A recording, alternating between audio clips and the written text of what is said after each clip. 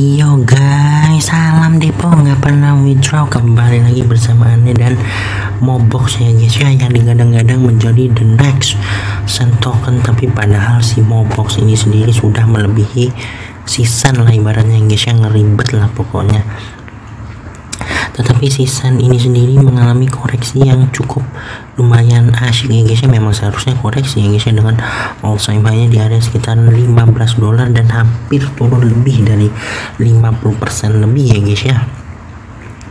Btw untuk area support daripada si Mobox atau Mbox ini sendiri itu ada di area-area sekitaran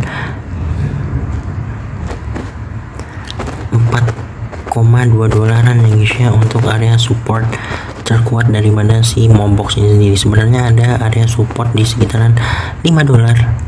Itu yang sangat uh, mini lah ya guys ya dan support kuatnya di sekitaran 4,2 dolar ya guys ya dengan potensi daripada si Mobox ini sendiri yang sedang mencoba untuk uh, kembali ngebul ya guys ya harusnya sih potensi untuk kenaikannya sendiri itu bisa lumayan cuan sih guys kalau kata aneh sih ya. Ini untuk potensi terdekatnya itu. Ini mungkin saja bakalan ya koreksi dulu mungkin area buy-nya itu nanti bisa di sekitaran 5,4 sampai 5,8 dolar ya guys ya. Dan melanjut kembali melanjutkan untuk uh, TP-TP tipisnya itu bisa ke area sekitaran mungkin masih cocok meong di area sekitaran enam setengah dolar 6,7 dolar dan 7 dolar ya guys ini adalah untuk area TP terdekat sementara untuk si M-box ini sendiri guys ya.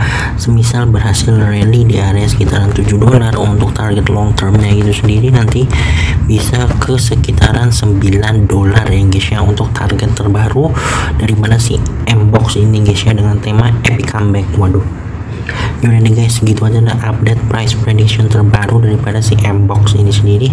Tetap lakukan analisa pribadi, jangan jadikan ini bahan fatokan disclaimer on, oke? Okay? Salam nyangkut terus.